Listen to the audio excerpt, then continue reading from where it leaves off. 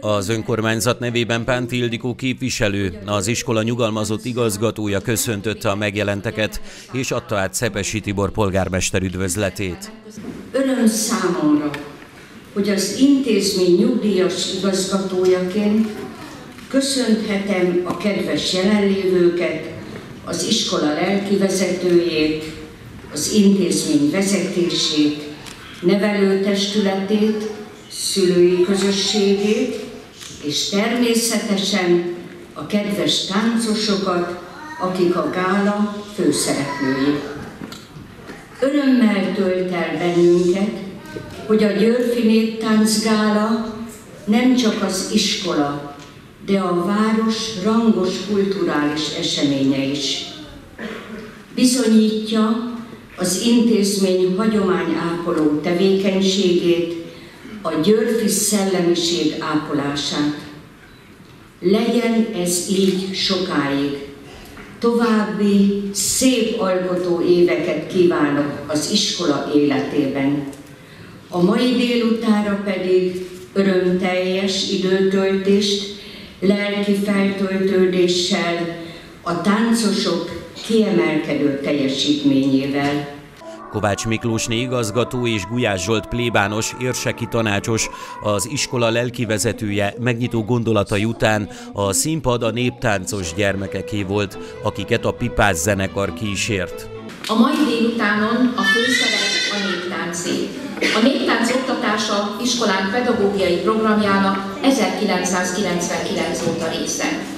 Tanulóink jó hangulatú tanulásban, hazánk kincseinek, nevezetességeinek, a néphagyományok mélyebb megismerésében, magyarságtudatuk megis megerősítésében részesülnek a néptáncórákon.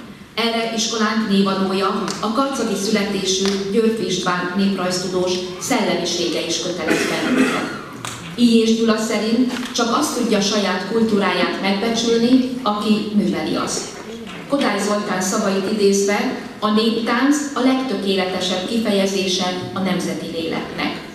A népzene, néptánc, népdal György István kutatási területei között is szerepelt.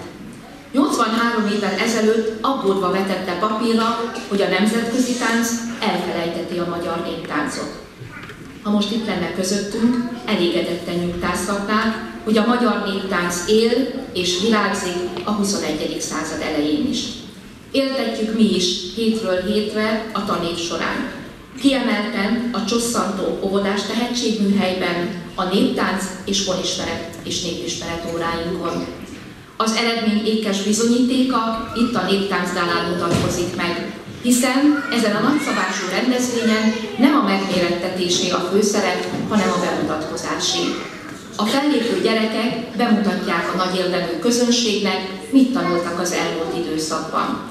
Intézményünk szinte minden óvodása és tanulója fellép. Közel 360 tanuló fog itt megfordulni a mai délutánon a színpadon, 16 koreográfiában gyönyörködhetünk a mai délutánon. Első alkalommal léptek fel a Szent Erzsébet óvoda Margaréta és Pitypank csoportosai.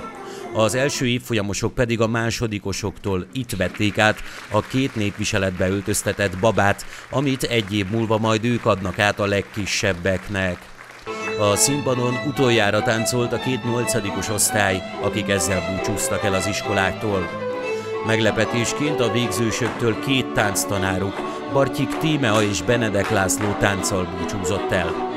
A Miska kancsóra emlékszalagot kötöttek a végzősök, majd a kancsót egy évre átadták megőrzésre a hetedikeseknek, akiket a hagyományok továbbvitelére kértek.